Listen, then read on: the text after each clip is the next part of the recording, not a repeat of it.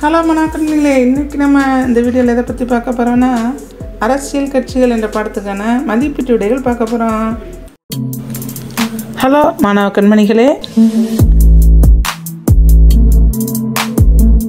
இந்த படத்துக்கான பாட விளக்கம் இதுக்கு முன் வீடியோவில் போட்டிருக்கேன். இதை பார்க்காதவங்க அந்த வீடியோவை பார்த்துட்டு வந்து இந்த பயிற்சி விடைகளுக்கு வாங்க. வாங்க வீடியோக்குள்ளே போகலாம். சரியான விடையை தேர்வு செய்க. இரு கட்சி முறை என்பது இரண்டு கட்சிகள் அரசாங்கத்தை நடத்துவது. இதுதான் இதுக்கு சரியான ஆன்சர் இந்தியாவில் காணப்படும் கட்சி முறை வந்து பல கட்சி முறை. அரசியல் கட்சிகளை அங்கீகரிக்கும் அமைப்பு வந்து யாருக்கு பவர் இருக்குன்னா தேர்தல் ஆணையத்துக்கு. இருக்குது அரசியல் கட்சிகள் பொதுவாக எதன் அடிப்படையில் தோற்றுவிக்கப்படுகிறதுனா மக்களின் பொது நலன் கருதி தான் தோற்றுவிக்கப்படுது. ஒரு கட்சி முறை எங்கு நடைமுறையில் உள்ளது அப்படின்னா சீனாவில் தான் இருக்குது ஒரே கட்சி தான் இங்கே இருக்குது அடுத்து கோடிட்ட இடங்களை நிரப்புக. மக்களாட்சியின் முதுகெலும்பாக திகழ்வது அரசியல் கட்சிகள். அதை எடுத்து எழுதிடணும் உடனே எழுதிடணும் நமது நாட்டின் ஒவ்வொரு கட்சியும் டேஸ் என்ற அமைப்பில் பதிவு செய்தல் வேண்டும். நம்ம நாட்டு ஒவ்வொரு கட்சியும் தேர்தல் ஆணையத்தில் தேர்தல் ஆணையம் எங்கே இருக்குது புதுடில்லியில் இருக்குது அங்கே போய் பதிவு செஞ்சால் தான் அது அங்கீகரிக்கப்படும். அரசியல் கட்சிகள் டேஸ் மற்றும் டேஸ் இடையே பாலமாக செயல்படுகிறது. குடிமக்கள் மற்றும் கொள்கை வகுப்பாளர்களுக்கு இடையில் பாலமாக செயல்படுது. ஒரு பதிவு செய்யப்பட்ட ஆனால் டேஸ் அரசியல் கட்சி தேர்தலில் தாங்கள் விரும்பும் சின்னத்தில் போட்டியிட இயலாது. அங்கீகரிக்கப்படாத அரசியல் கட்சிகள். அதில் எழுதணும். அடுத்து எதிர்கட்சி தலைவர் டேஸ் அந்தஸ்தில் இருப்பார். கேபினட் அமைச்சர் என்ற அந்தஸ்தில் இருப்பார். அடுத்து பொறுத்துக. மக்களாட்சி அப்படின்னா மக்களின் ஆட்சி. தேர்தல் ஆணையம் சுதந்திரமான நியாயமான தேர்தல். பெரும்பான்மை கட்சி அரசாங்கத்தை அமைப்பது. எதிர்கட்சி அரசின் கொள்கைகளை விமர்சிப்பது. அடுத்து கீழ்காண கூற்றுகளை ஆய்வு செய்து பொருத்தமான விடையை தேர்வு செய்க. பின்வரும் கூற்றுகளில் சரியானதை தேர்வு செய்க. நாட்டில் உள்ள ஒவ்வொரு கட்சியும் தேர்தல் ஆணையத்தில் பதிவு செய்து கொள்தல் வேண்டும். தேர்தல் ஆணையம் அனைத்து கட்சிகளையும் சமமாக நடத்துகிறது. தேர்தல் ஆணையம் அங்கீகரிக்கப்பட்ட கட்சிகளுக்கு தனி சின்னத்தை ஒதுக்குகிறது. அடுத்து இவை அனைத்தும் கொடுத்துருக்காங்க. அப்போ இது எல்லாமே இது அனைத்தும் பொருந்தும். இப்போ இதுக்கு ஆன்சர் வந்து இ இதை அனைத்தும் அப்படின்னு போட்டணும் அடுத்து பெரும்பான்மை கட்சி ஒரு நாட்டின் சட்டங்களை உருவாக்குவதில் முக்கிய பங்கு வகிக்கிறது. காரணம் தேர்தலில் பிற கட்சிகளை காட்டிலும் அதிக எண்ணிக்கையில் உறுப்பினர்கள் தேர்ங்க தேர்ந்தெடுக்கப்பட்டிருப்பது ஆகும். அப்போ இது வந்து காரணமும் அவற்றுக்கு கூற்றுக்கான சரியான விளக்கமும் ஆகும். இப்போ இதுதான் இதுக்கு ஆன்சர் ஆ. அடுத்தது ஓரிரு வரிகளில் விடையெளிக ஒரு அரசியல் கட்சியின் அடிப்படை கூறுகள் யாவை? ஒரு அரசியல் கட்சியின் அடிப்படை கூறு என்னது? ஏற்கனவே நான் பாட விளக்கத்தில் சொல்லியிருந்தேன். தலைவர் செயல் உறுப்பினர் தொண்டர். அடுத்து மூன்று வகை கட்சி முறை உடனே மனப்படும் நிலம் இது. மூன்று வகை கட்சி ஒரு கட்சி இரு கட்சி பல கட்சி முறை. அடுத்து இரு கட்சி முறை காணப்படும் நாடுகள் எதது? பிரிட்டன் அமெரிக்க ஐக்கிய நாடுகள். இங்கே வந்து ஆளுங்கட்சி எதிர்கட்சி அது ரெண்டு தான் இருக்கும். அடுத்து குறிப்பு வரைக கூட்டணி அரசாங்கம். பல கட்சி அமைப்பில் பல நேரங்களில் ஆட்சி அமைக்க தேவையான பெரும்பான்மையை ஒரு கட்சி பெறுவதில்லை.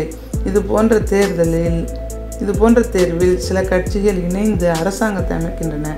இது கூட்டணி அரசாங்கம் என அழைக்கப்படுகிறது. நான் ஏற்கனவே பட விளக்கத்துலேயும் சொல்லியிருந்தேன். ரெண்டு கட்சிகளும் ஒரே சம அளவில் ஜெயிச்சிருந்தாங்கன்னா அவங்க யாரையாவது ஒருத்தர் போய் கூட்டு கூட்டு ஆட்சி அமைக்க கூப்பிடுவாங்க. அப்படி அமைக்கிறது பேர் தான் கூட்டணி அரசாங்கம் அப்படின்னு சொல்கிறது அடுத்து அரசியல் கட்சியின் செயல்பாடுகள் ஏதேனும் நான்கினை எழுதுக. அரசியல் கட்சி என்னென்ன செய்து நேர்மையான எதிர்ப்பு பொறுப்புடைமை ஸ்திரத்தன்மை வழங்குதல். அடுத்து தேர்ந்தெடுக்கப்பட்ட அலுவலகத்திற்கு தனிநபரை பரிந்துரைத்தல். அடுத்து ஆட்சி அமைக்கிறது. அரசாங்கத்தை ஏற்படுத்தி இயக்குதல் பொதுவான கொள்கைகளை உருவாக்குதல். அடுத்து அரசியல் பிரச்சாரம் பேரணி ஆகியவற்றை ஏற்பாடு செய்து தேர்தலில் வெற்றி பெற தேர்தல் அறிக்கையை வெளியிடுதல். இதுதான் அரசியல் கட்சியின் செயல்பாடுகள். அரசியல் கட்சி எப்போது தேசிய கட்சியாக அங்கீகரிக்கப்படுகிறது? தேசிய கட்சி அப்படின்னா நான் நாடு முழுவதும் இருக்குது. மக்களவை தேர்தலில் அல்லது நான்கு மாநிலங்களுக்கான சட்டமன்ற தேர்தலில் செல்லத்தக்க மொத்த வாக்குகளில் ஒரு கட்சி ஆறு சதவீதம் வாக்குகளை பெற்றிருக்கணும். ஒன்று அல்லது ஒன்றுக்கு மேற்பட்ட மாநிலங்களில் நான்கு மக்களவைத் தொகுதிகளை வெற்றி பெற்றிருக்கணும். இறுதியாக நடைபெற்ற மக்களவைத் தேர்தல் குறைந்தபட்சம் மூன்று மாநிலங்களில் ரெண்டு சதவீதம் தொகுதிகளில் வெற்றி பெற்றிருத்தல் வேண்டும். இது நம்ம புக்கில் இரநூத்தி ஒன்றாம் பக்கத்தில் தேசிய கட்சிகள் அப்படிங்கிற அந்த தலைப்பில் இருக்குது அதை நீங்கள் குறித்து படிச்சுக்கணும். அடுத்து ஒரு மக்களாட்சி நாட்டிற்கு அரசியல் கட்சி அவசியமா? அரசியல் கட்சி கண்டிப்பாக அவசியம். அதுக்கான விடைகளை நான் பிரிண்ட் பண்ணி போடுறேன். அதை நீங்கள் குறித்து படிச்சிடணும்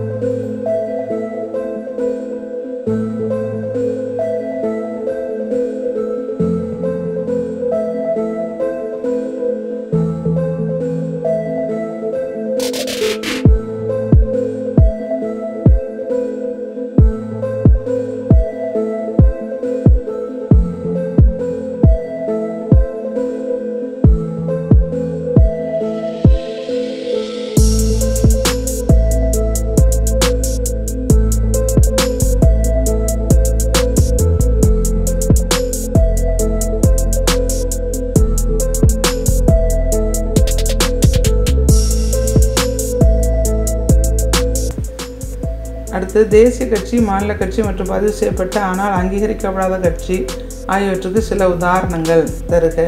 அதுக்கான விடைகளை நான் பிரிண்ட் பண்ணி போடுறேன். அதை நீங்கள் குறித்து படிச்சிடணும்.